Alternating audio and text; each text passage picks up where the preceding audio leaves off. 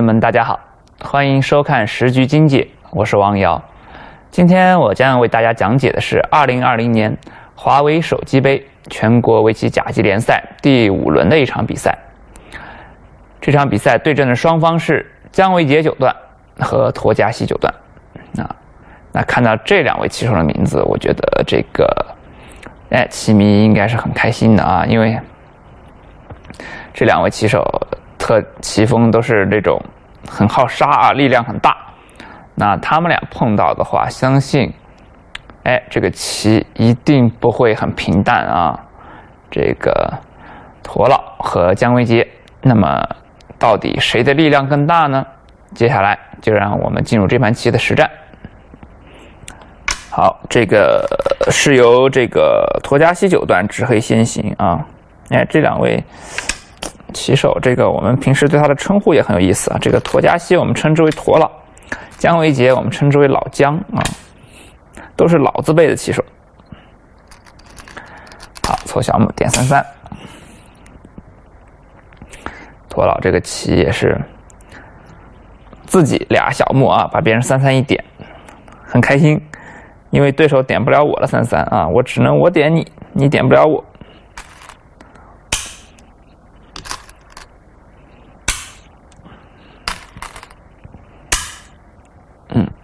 然后小飞，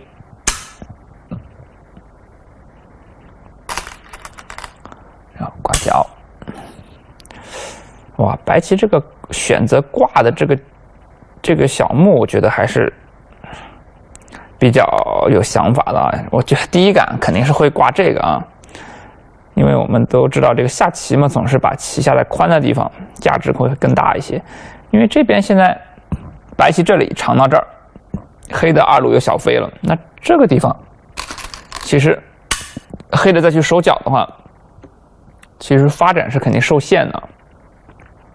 那同样，白棋在这里挂角的话，这一面这个发展也是受限的啊，这个有点奇怪啊。果然，这个黑棋是不走了，头老师不走了，这确实没必要走了，因为你这已经飞到这儿了，这边发展严重受限。啊，这个时候，普通情况下，小目如果你小飞挂，对手脱先的时候，我们一般会选择飞压掉啊，因为这是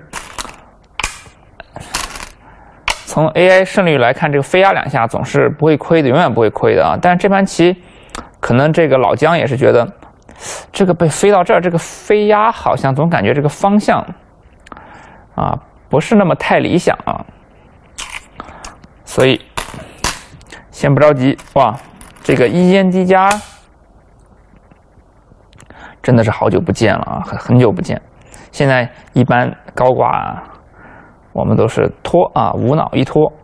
那可能这盘棋老姜也是想注重一下这个配合方向，他觉得这个被拖完之后，这个拖退定式走完之后，他这个方向可能会有点问题啊。这个黑的这拆完之后。对着这三颗子，因为这个棋点完三三之后，这个拆其实只能拆三的话，是不是太大的啊？将来被一扳粘很，这个地方很窄，所以并没有选择拖啊。所以我就说，看这两位棋手下棋，其实是很幸福的一件事情。他们俩会有很多的想法，就是绝对不会甘于平庸啊。从这个一间低压，我们就可以看出来，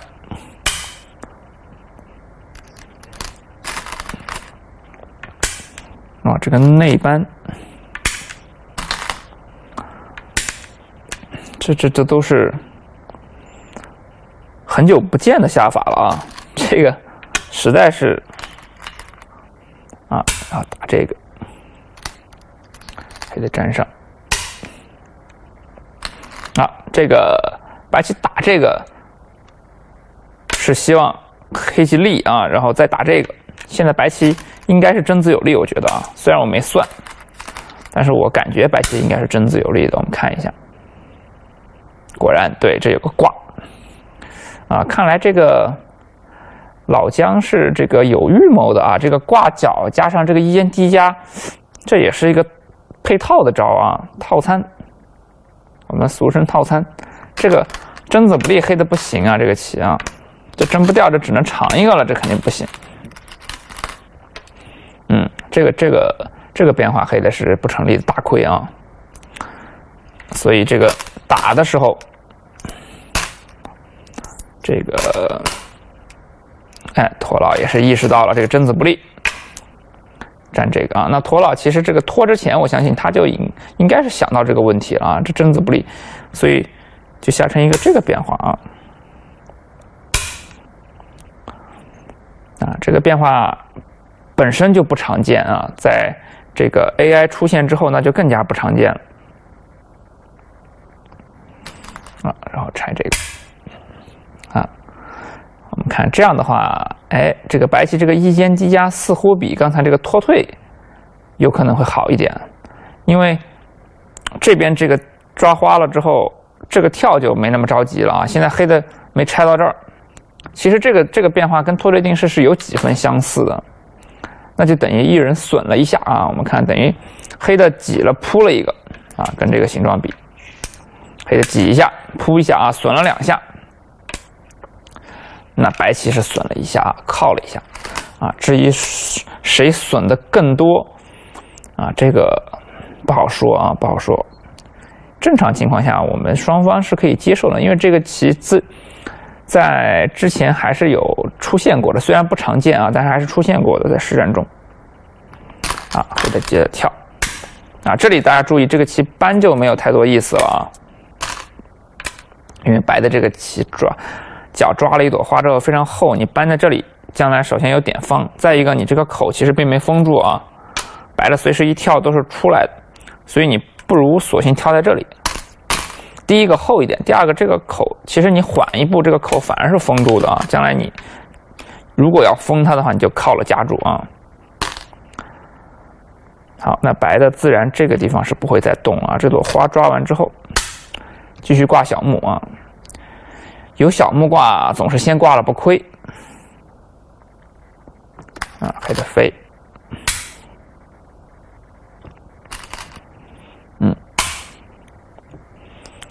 这个这一套这种操操作好像，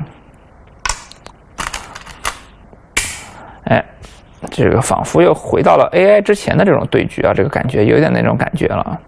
包括这个定式的选择，包括这边这个二尖反夹，啊，因为现在这个二尖反夹其实比较少了啊，一般我们都是飞压。但现在这盘棋，这个老姜也是认为这个场合飞压确实不适合啊。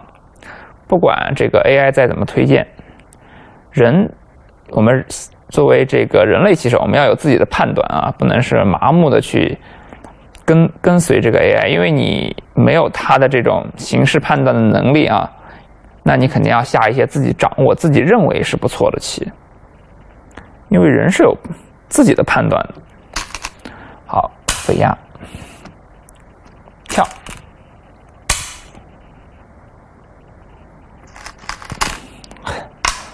回贴，那这都是传统的人类下法啊，非常传统。这个贴是什么意思呢？就是说现在白的。不太敢长啊，长的话我们这一冲断，啊，注意这个棋是要断里头的啊，那断外头，白棋给你吃了是不便宜的啊，所以我们一定是断里头。而且现在这个黑的这个针子是非常愉快的啊，这个针掉了不说，而且白的这个形状没有好的引针，因为这个地方黑的太厚了啊，这个这个棋是著名的亏损，白棋亏损啊，将来这再被一飞，非常惨。啊，所以这个压的时候，白的是不太好动的这个形状，一般，要么就尖一个，要么就先脱先。啊，实战还是长了，因为这个白棋可能认为现在如果不长的话，你尖也好，粘也好，这个方向不太对啊。这个黑的这个小飞在这里，那早知道这个形状如此的话，我觉得。老姜这个棋其实可以考虑爬，直接就啊，就干脆就爬了爬就完了啊，这个可能会，我觉得效果可能会更好一点啊。我们下棋灵活嘛，搬我们就搬下头就完了啊，这个棋也无所谓了，你就一阵爬啊，把这一飞就完了。这个反正让黑的这个头碰着这个头，对，没有目啊。哎，我觉得这个这样下其实挺好的，就是在这个场合下，这个下法应该是可以的啊。这个跳可能有点随手，我觉得被黑的一贴之后，发现不好办了，硬着头皮往里长啊。那这个的变化，我是觉得白的是挺亏的啊。这被针掉一个没有引针，就一般这种棋被针对方针掉的时候没有引针，其实损失是挺惨重的啊。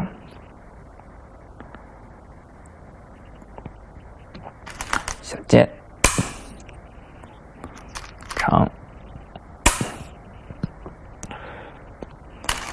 哇，老姜有招，我们来看一下，卡一子，这个确实是非常手段啊，因为现在这个白棋是这样一个状况，走自己走呢就不大啊，明显是个官子，但是你不走，被黑的一飞，这个再去这么做活，确实是很惨啊。黑的其实飞一下还可以先不走。因为将来保留这个力的先手啊，确实是很不舒服，所以这个干脆是先发制人，直接卡。你要是虎外头，我直接就把你这个子拿下了啊，就外头这颗子就看清了啊，然后这边再出想办法再处理，再补强，先把这个角先给它吃下啊，木薯先吃掉。那驼老也是。很很很很强硬啊！应对的胡绝不给你吃这个子啊！然后白棋长，哇，直接飞啊！外面虎都不虎了，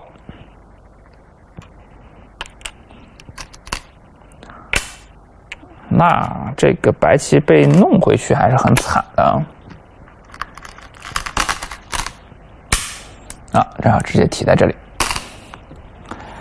嗯，这个局部我觉得黑的还是非常满意的啊。这个毕竟白棋这个三目活真的是太惨啊，而且黑的外头非常厚啊，这个棋还非常厚。好，然后白棋这个脱了力，嗯，因为外面没有太大的了棋了啊，这盘棋外面双方都很厚。这个这样这种空旷的地方，通常是成不了目的，所以现在这个补强很重要，因为这个地方黑的甚至直接打入都有可能啊。现在白的要把这个空让它实地化，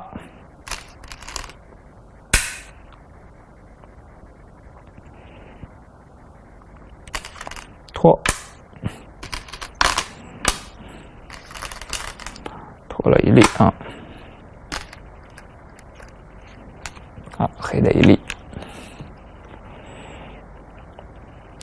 然后这个棋，哎，意外的很平淡啊。说实话，他们俩这个都是很很角色，结果这个棋一下出来，确实意外的平淡啊。双方都不着急啊，都知道对方是狠角色啊，都想发力，但是。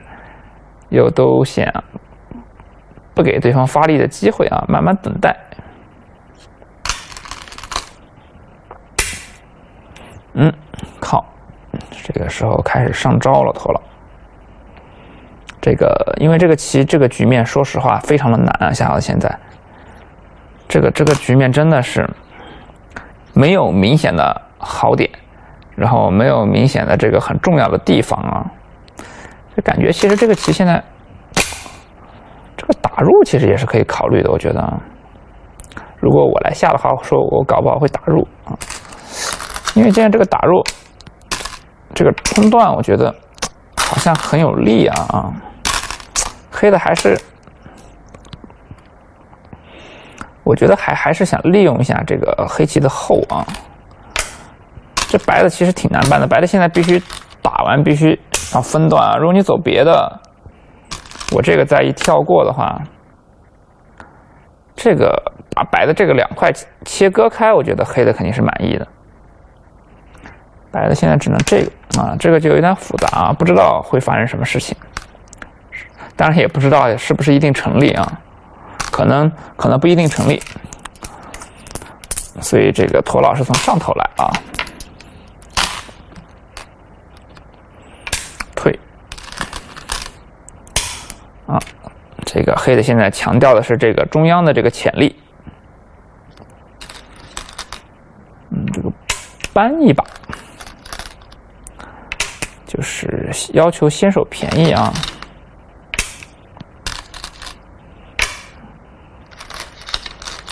这是个。求调，求调，因为他现在这个地方他不走的话，将来黑的拐有价值啊。他现在不知道怎么样去去这个，如果单纯的这么去消这个黑棋的潜力的话，又觉得没有木啊，没有木。从这里断出来呢，又有一个问题啊，黑的可能会打了粘啊。又从这里断出来的话，本身很损。因为这里本来你可以从加进来，可以捞这个边控啊，所以现在干脆从这个地方找一点头绪啊，求个调，顺势一打，这种借力打力啊，然后从这里冲啊，这个找着一点头绪，黑的必须挡，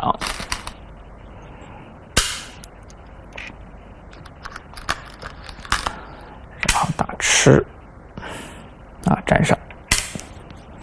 啊，这一串好像下的还是蛮漂亮的，我觉得很有很有想法啊。老姜这一扳，这个形状这一串白棋还是先手还是得力了啊！不仅获得了一定的目数，最主要让黑的形状变薄了啊！将来这个 这个方一点，白棋这里还有一点潜力啊！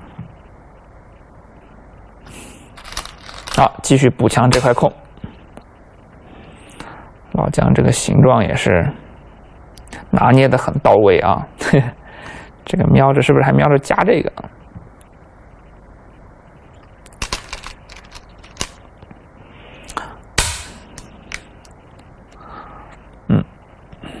个驼老好像今天要给我们上一堂这个碰啊，一堂课。一堂这个技术课叫做碰如何碰各种碰，你看四路碰五路碰啊，看看一会儿还没有没有六路碰啊，各种碰，这种碰其实就是要让白的先难受一下啊。你要是从这边退，那我就什么靠一靠，我就搬过来了。你要从这边退的话，它是天空中再跳一下。反正压缩你的同时呢，我外头多一点子，对这个将来中央的发展也是比较好的啊。这走两下，我觉得黑的可能会挡这个了啊。中央其实也不太好，我现在这个挡其实蛮实惠的。好，此时老姜同志终于是发力了啊，扳。那这个扳黑的是没有办法的，像这样的棋靠完之后。不能说人家一般我们一退啊，那这个就太臭了啊！大家一定要注意，等于这个被白的扳了一下，跟你这个跳回去，那就是完全两个概念啊。这个你没有走到任何，你这两颗子反而成为一个负担啊。所以扳的时候一定是反扳，这白的不知道能不能哇？刚说这个白的能不能这个就来了，嗯。有这个心情啊，因为如果断打被黑棋一长，白的要想两边都防住，只能贴这个，嗯只能贴这个的话，有可能会让这个黑棋这个中控啊，很容易就呼上了啊，这个接近了。你虽然自己这块空是能保住的，但是给黑棋这个地方来了一堆借用啊，很不舒服。所以搬的时候，老姜就想好了啊，这个棋就是闷进去，啊，一闷棍给你敲进去，然后黑棋靠，嗯，寻求一下突破点。啊，这个这个靠什么意思呢？我来给大家讲一下，靠如果靠到了这个地方，它就是打了一档，啊，然后就搬出来了。我们看，打吃，啊，然后一贴，这个断吃和这个真吃就见合了啊。其实思路也没没有那么复杂，就是就是一个很很朴实的下法。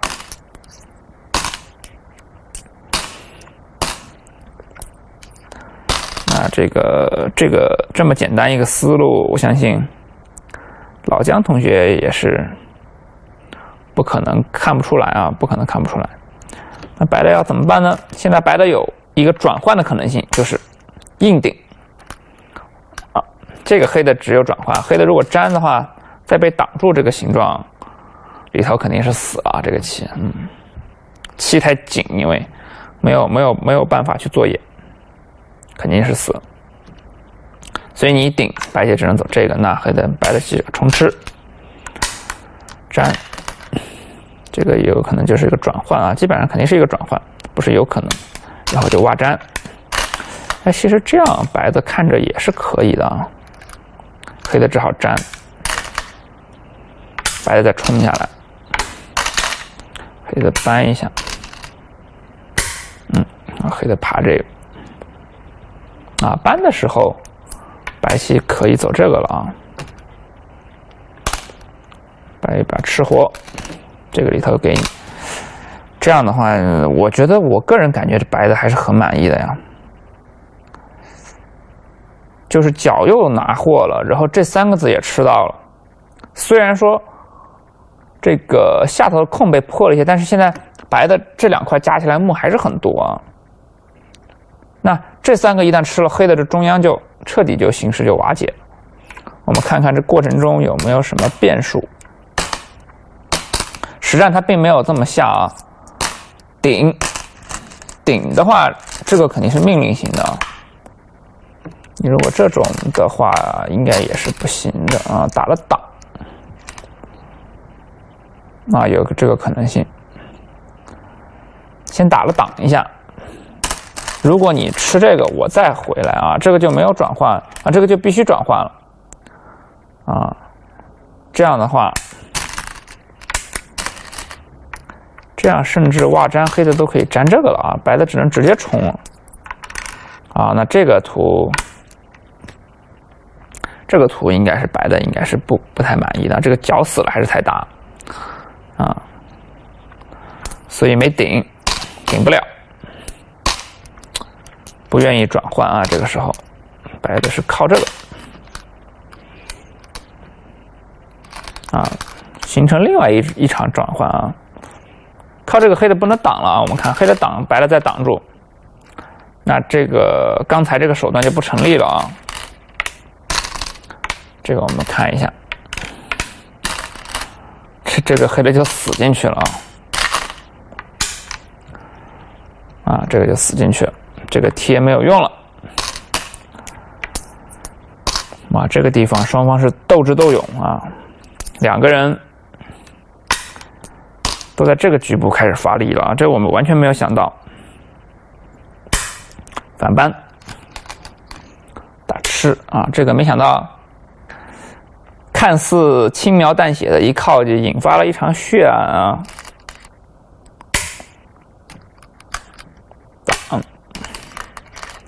吃断档，这都是没有什么变化啊！一本道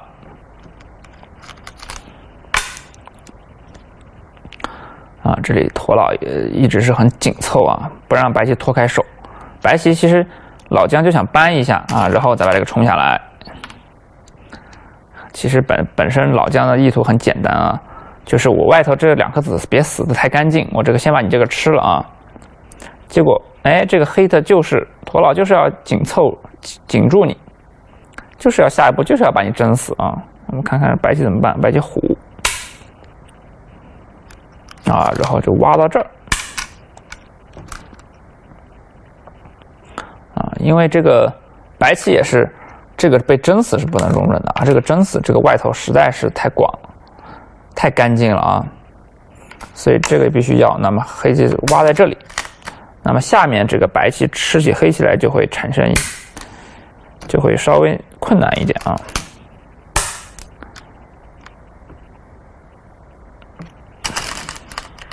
拐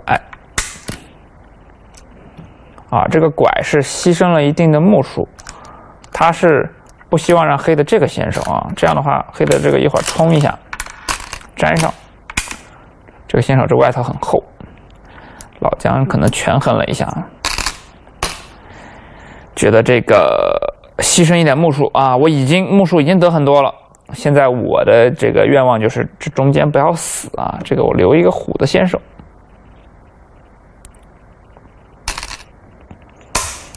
哇，这盘棋这个精彩从这里才刚刚开始啊，这一跑真的是。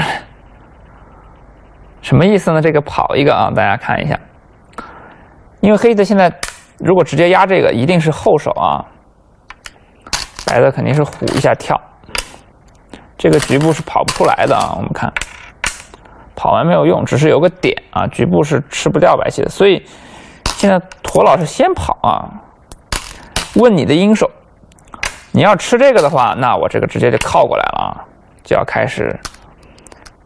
对你进行这个屠杀行动，那你要是退的话，我就从这里长，啊，长了先压过来，接下来我这一点，你这块棋局部不活，啊，这个跑一个，不得不说是好手啊，绝对的是好棋，白的似乎只能吃吧，我觉得，哇，这个老姜也是。针锋相对啊，小尖一个，嗯。这样的话，它眼型好。我们看，如果同样黑的还是长，以后点进来的话，白棋这个尖比这个退啊，眼型还有出头各方面都好。双方在这里斗智斗勇，啊，长双压，白的应该不敢搬吧？啊，不敢搬，跳，黑的在长。哇，这个我相信，驼老当初碰这个的时候，他自己应该也没想到，这个血案是这么引发的啊！这个太太激烈了，这个棋太激烈。虎，这个都没什么变化，退，小飞啊！这个时候黑的二路点肯定要用上了，那先吃了一下。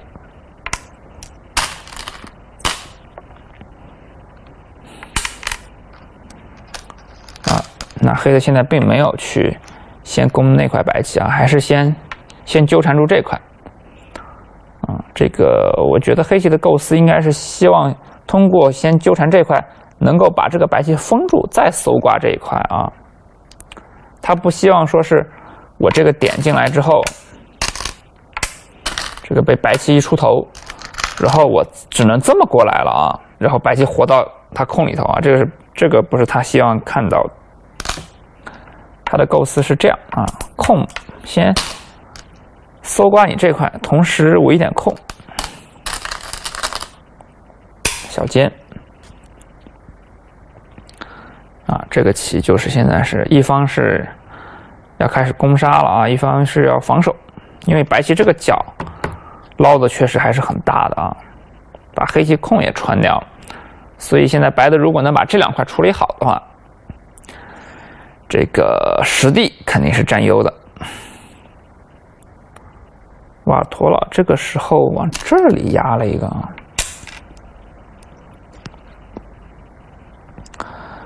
这个压一个，这个还能压得到吗？感觉上是，心情上来说是不想让黑棋压到了，但是黑棋接下来有个搬了连扳的很残酷的手段，因为我觉得压到的话，白棋会有点危险。啊，还是硬了，压了扳，不知道会不会点方，啊，还是跟我想的一样啊，不给压到，因为如果这个给压到的话，我觉得黑的甚至有可能直接靠过来啊。这个这个好像确实是不想让黑棋压到，虽然也很复杂，这不是说压到这个白棋就一定死啊，但是从心情上来说是不让不愿意让压到的，所以白棋挑这个反击。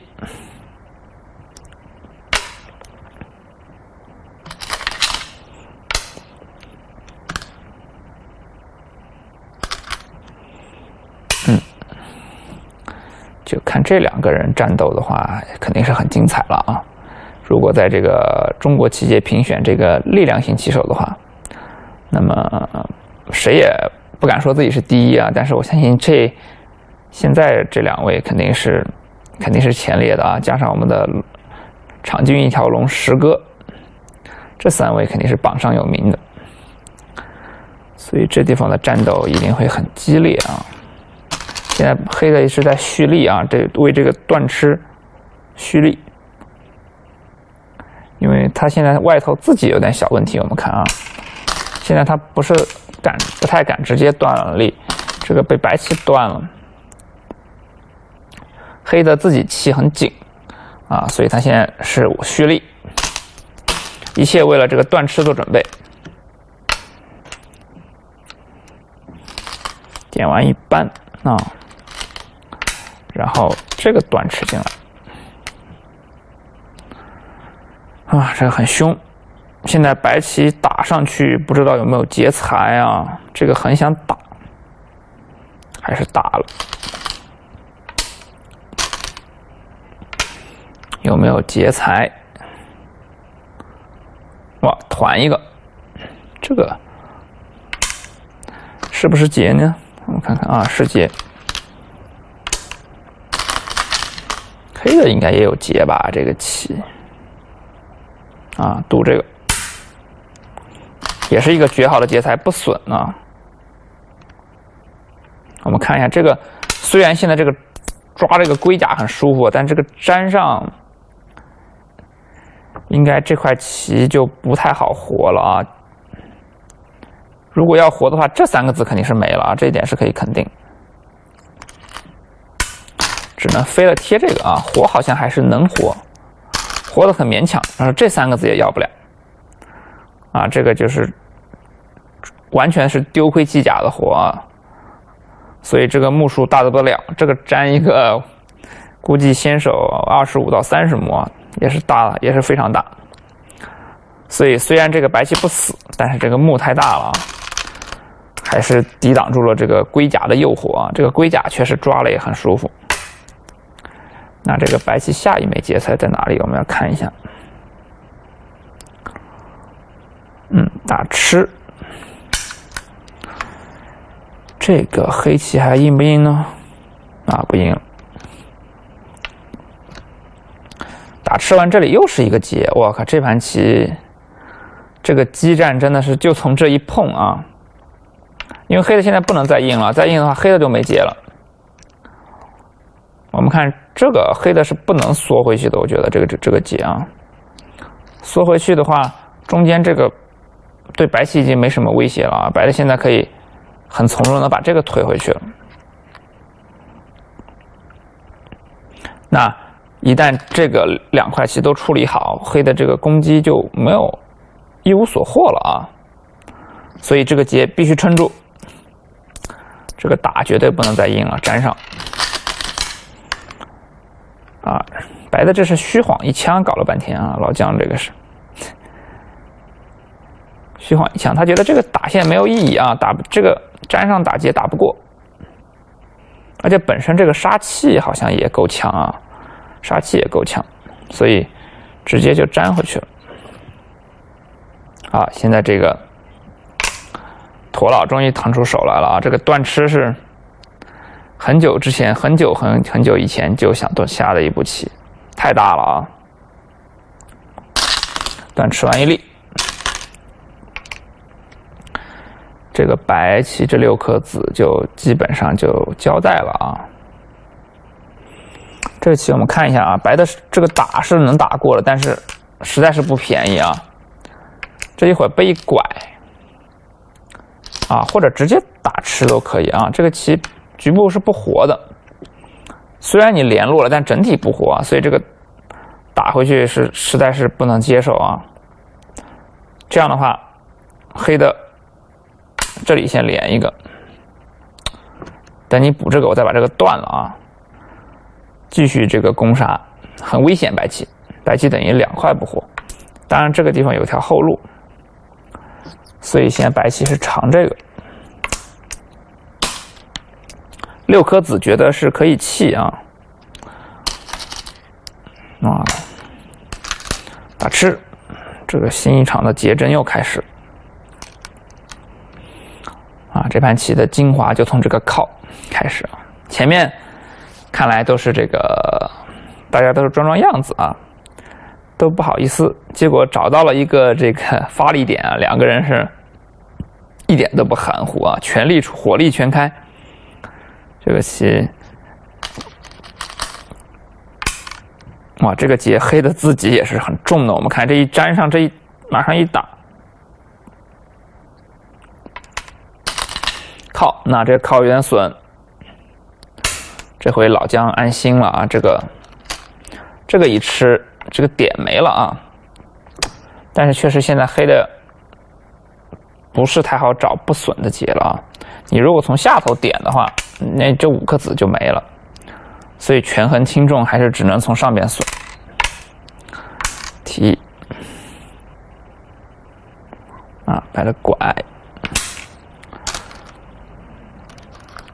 然后这个托老师这个印不了了啊，因为一印的话这边劫太多了啊，印的话只能跳过这局部，因为我们看这个拐局部一挡是吃不掉的。打吃的话，白棋一立啊，有一个叫做金鸡独立的形状，啊，两边不入气，那么局部只能搬完打吃，啊，这个局部是个打劫杀，拐不行，那你要想吃，吃的更大就只能跳过，跳过的话局部也是个打劫杀啊，我们看这一吼，但是你一旦选择跳过，我们看白棋这个劫数都数不清了啊，那。这个劫黑的是不能打输的啊，不允许打输，打输完这个还欠很多目，所以这个黑的是算了啊。驼老觉得你这个打吃一下已经很损了，我把这个提了啊。这边反正本来就当你退了一个啊，就当白棋退了一个，断两下稍损啊，还可以接受。将来这个先手跳一下，现在主要是看中央怎么去继续这个纠缠这个。白棋哇，然后这个地方又来了，这盘棋这两个人打劫是完全打上瘾了，这必然这个打过又是个劫，嗯，长，爬，这这二人的身体真的是一级棒啊！这个打一个白的确实也忍不了，白的如果从这里拐吃的话，黑的就不走了啊。以后慢慢我再提你，你还得补，不然一顶的话，这块棋打劫活，那这个劫黑的就等于是纯无忧了啊！这将来总是会被被黑棋提回去的，那这个目数就差了很多。所以白的也是必须，啊，那这个劫黑的很损。但是问题现在中央黑的应该有很多的劫材啊，就淡淡的长一个，我觉得就是劫，啊，直接断了，啊，感觉这个劫的话，驼老还是挺善战的啊，中央应该有无数的劫材，我个人感觉是，我觉得他这个断，说实话，长一个还不满意吗？这个棋？然后再提回来，我们主要看看这个劫到底是个什么情况。应该是个锦旗劫啊，白的不能再搬了，应该搬黑的就粘上就可以了。白的在小尖，黑的再把这个顶住啊，这已经可以了。所以实际上并不需要太多的劫财。这个驼老真的是很非常狠，还得断啊，他可能是想断两下之后。再长啊，我们看一下是不是这样？果然，他觉得把这个木先吃下来啊，这边他是搬的，因为这个地方没有断啊，这有个大吃，所以搬一下，他觉得更厚一点。这驼老是比我想的更狠啊，然后打的瞬间再提劫，嗯，这个白的没办法，只有见这个，哇，继续。这个这盘棋，这个又是一盘这个如何去利用后势啊？给大家上了一堂如何利用后势的课。这个完全不讲道理啊，仗着自己劫财多。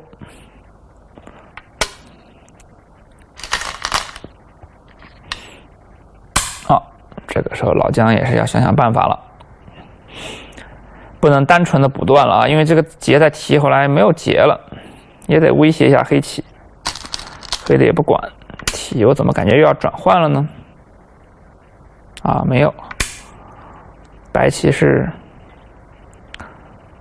很很稳健的粘回去了，啊，然后黑的再粘上，嗯，因为这个地方黑的是需要补一个的啊，现在黑的这边暂时处理不了，如果粘这个的话，黑的就搬过啊，白棋就搬过。啊，白棋搬过之后，黑的这还得补啊，不补白棋往前跳，这个要出事情啊。如果补的话，这个不管跳还是顶啊，这个白的这一段，那这边也要出事情。所以现在，哎，黑棋是先把这个粘上啊。这边现在是白棋走一手的话，也吃不进这个黑棋啊，怎么着都是打劫肯定。啊，然后白棋一搬。啊，这个中央这个白棋也是刚好就连上了啊！这我们看这地方刚好断不了，断的话它打吃完一小尖啊，利用这个小尖，拐的话就长，嗯，似乎是联络还是比较稳啊。那这一飞刚才是绝对的好手啊，绝对的好手。现在不知道驼老会不会后悔啊？当初这个断两下。是不是有点太激进了啊？本来把这个劫打赢应该可以满意了，现在的话，就是这个劫现在不知道是什么情况。打吃，站上，啊提劫，这个劫黑的肯定还是必须打赢的啊！打输我们看黑的虽然这个。一直在挑起战争，但是并没有获得太多的实惠啊！哎，这个白棋一直没打一下，不知道什么道理啊？他觉得这打一下不便宜，感觉打掉形状还是好一些啊。这个不打，一会儿再被拐了点啊！这劫才找的很舒服，这个没打啊！这个拐一下劫找的很愉快，搬。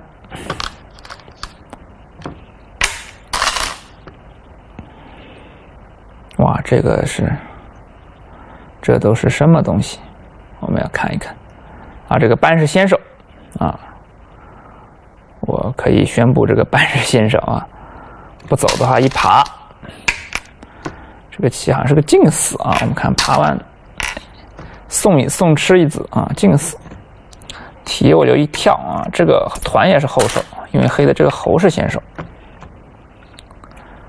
这个班是一个绝先，这驼老是先断白棋后路，啊，先断白棋后路，然后再顶住吧这边，啊，小尖就行。顶住的话气是一样的，而且让白棋本身劫变多了啊，所以小尖一个，啊，白棋七劫。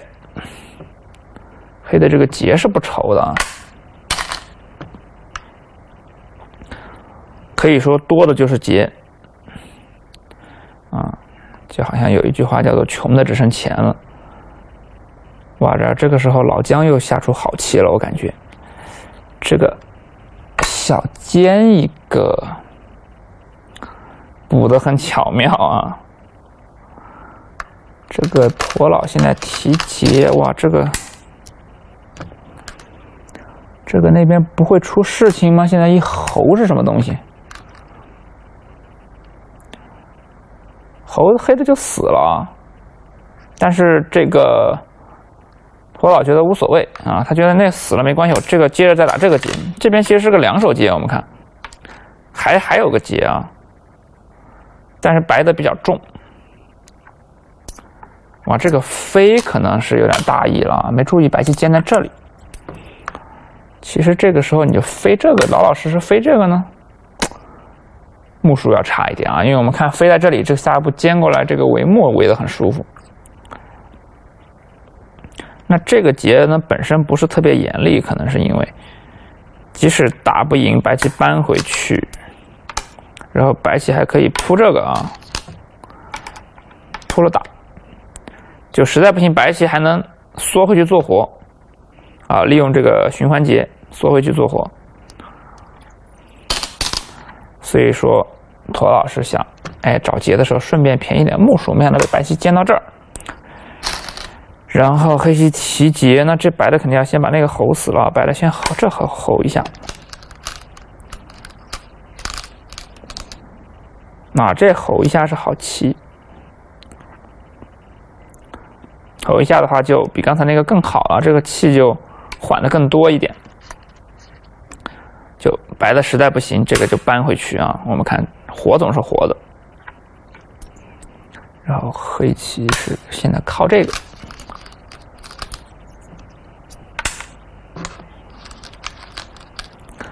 啊，这个靠一下，靠一下的意图就是把这个猴就防住了吧？应该是啊。我们看一下是不是防住了啊？这个猴是防住了，现在就退就行了。这个这正好可以猴回来啊，因为现在他不能去团这个了，他去团这个马上开劫的话，白棋一定会吃这个了。这个现在黑的得下很多手才吃得掉白棋了，所以他先靠一下把这个防住，然后再团啊，这个劫还是得打。提，那这中央侯一下肯定要侯了啊，先立一个啊，这个劫白的是。什么劫材肯定都必须要硬的啊，因为这缓的还比较多。现在这个气，爬，啊，这盘棋这个手数应该不会少啊。我们知道这个下棋一旦全盘虽然只有三百六十一个交叉点，但是如果你不停的打劫的话啊，打过来打过去，那这这手数很有可能会超过三百六十一手啊。啊，这个盘棋这劫已经不知道打多少了，还好现在都是这种电脑记谱了啊。要是像我们以前这个刚进国家队那会儿，得是人工当裁判记谱，那记到这个棋那真是要疯，人要疯啊！拐啊，拐一个本身目数好像是稍亏一点，跟跳比。我们看一下，现在是一二三四，一二三，一亏两目棋啊！但是他为了劫才好，一会儿还可以搬。现在他是托老师为了这个劫财是放弃了木数了啊，已经开始，只为打赢这个劫。哇！然后在白棋贴那个的时候，直接引爆啊！这回就厉害了，这回一一旦粘吃，这整个白棋就死了。这个劫就厉害了，然后猴一个，嗯，白棋粘上，这个白棋必须粘啊，这个这个中间太大。了，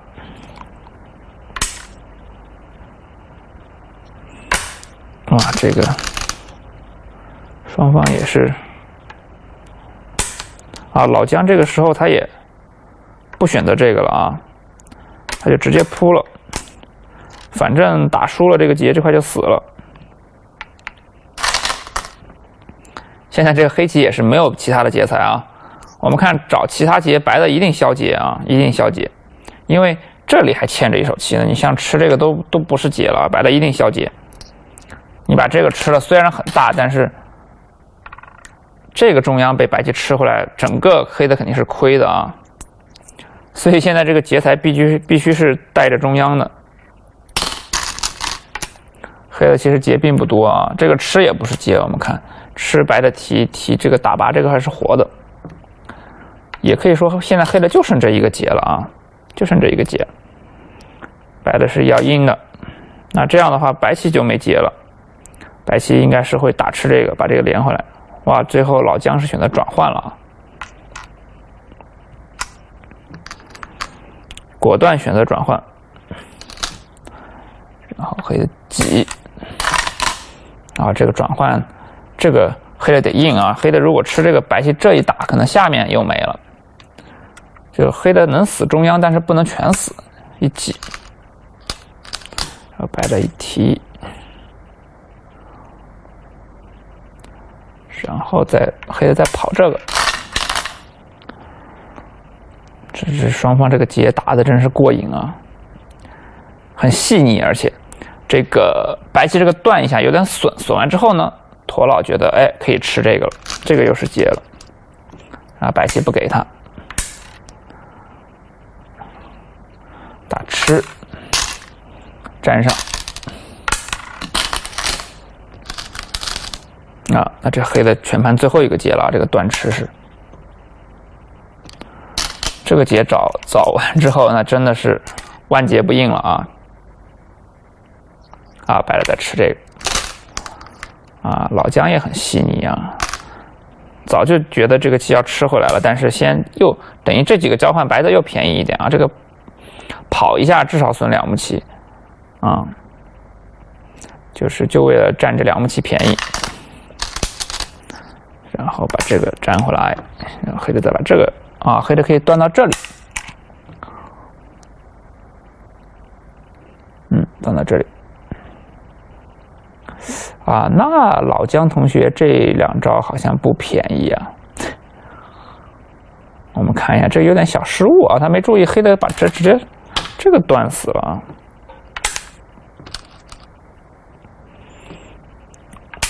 好，这个交换不便宜，虽然这得两目棋，那个被断死，可能也又亏回去了啊。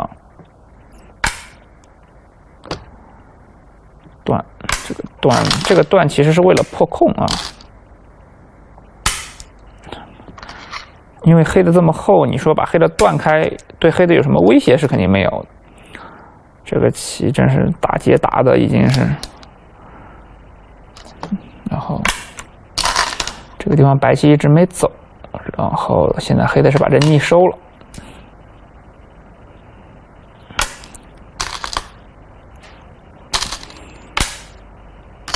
这不知道为什么这个老姜一直很执着于这里的这个下方啊。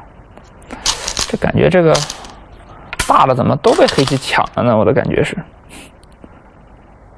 然后搬啊，继续执着于这里，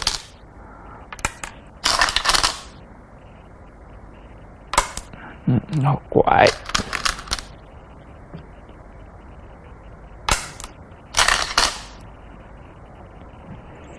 然后再搬这个，搬完是要打了冲一下。先粘上，搬一下这个木数会便宜吗？感觉这个棋下的也很奇怪啊！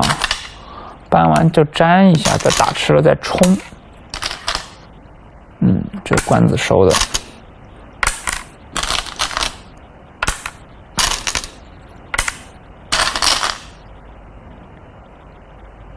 好。我们现在来看一下这个目数吧。这个劫打了半天，这个都很晕打的。虎到这里啊，这个冲吃是白棋的权利啊。我们摆一下，我们看一下这个目数情况。现在因为一直在打劫啊，所以也没没办法给大家数目。现在可以给大家数一下，看这个目数情况。这个白棋一二三九。十五、十六、十七、八、十九、二十、二一、二二、二三、二四、二五、二五，这里是半目啊，二六、二七、二八，啊，这两个算成一目，二十九、三十三一、三二、三三、三五、三六、三七、四十，四十五十五一五二五三，五十三目棋啊，白棋。黑的这个目是这有一目，一九十十一十二十三十四十五十六十七十八十九，二十二一三一三二三三四三四五四四一四八九十一五二五三一二三，哇，这个黑的空多这么多呀，这棋。啊，那这个老姜完全是被打劫打晕了啊！这好像没有什么悬念了，一数一数目发现，啊，然后这个果然，接下来这一步棋是最后一手啊，一长的时候就认输了，啊，这个没有没有什么悬念了啊，这个棋空差的实在有点多啊，实在有点多，这盘棋这个。不知道大家看的怎么样？反正我看的是很过瘾。这个劫一共打了几个劫？我们来看一下。一开始最早是这个劫，第一个，这第二个，第三个啊，这最主要这第三个劫打的天昏地暗，可以说是。嗯。那这盘棋，这个从这一靠开始啊，这个棋实在是。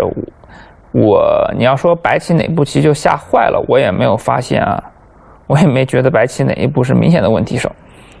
那可能要归根结底的话，可能当时老老实实退一个算了，碰的时候，老老实实退一个。当初这一碰，没想到这这个老姜同志肯定自己也没想到啊。一扳之后，这个后面这个劫打的，好像没什么办法啊，我个人感觉。一一直是一个双方都都很紧凑的一个状态啊，但是始终这个黑棋的劫是要多一点啊，是要比白棋多一点啊。唯一最后就是这个地方的时候，我们来看一下啊，打到这里的时候，这是当时这些都还没有有啊。我们看一下，唯一我觉得我发。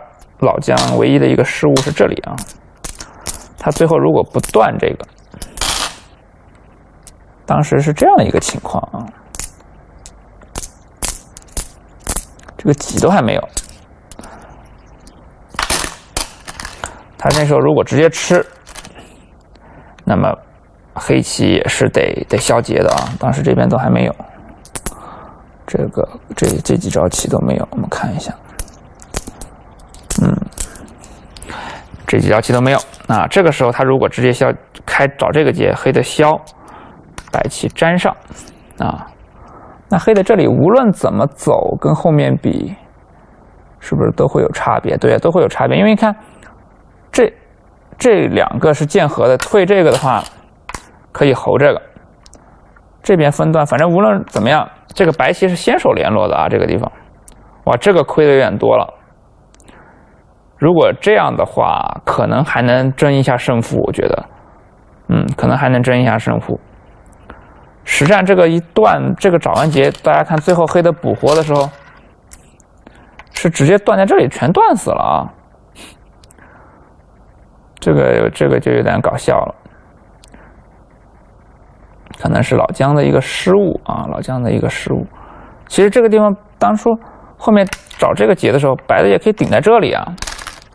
我觉得这个肯定是有个无算啊，可能这盘棋读秒读的时间比较长啊，最后被断到这里，消劫是是一个巨大的失误啊，这个损失太惨重了。但不管怎么样，这盘棋并没有辜负我的期待啊，不知道坐在电视机前面的您是不是也满意他们俩这种表现啊？我觉得看得很过瘾，这个三个劫啊，每个劫都打了好几十手，甚至上百手。这个一会儿转，你看各种转啊，转来转去，最后是形成一个收官的局面啊。然后最后黑棋这个托加西是优势还是比较大的啊，盘十盘面十几目了。好，总的来说，这两位棋手今天是把自己这种中盘力量大、很善战的这个风格是发挥的淋漓尽致。托加西九段。执黑中盘战胜了姜维杰九段。好，那今天我的讲解就到这里，谢谢大家的收看，我们下期节目再见。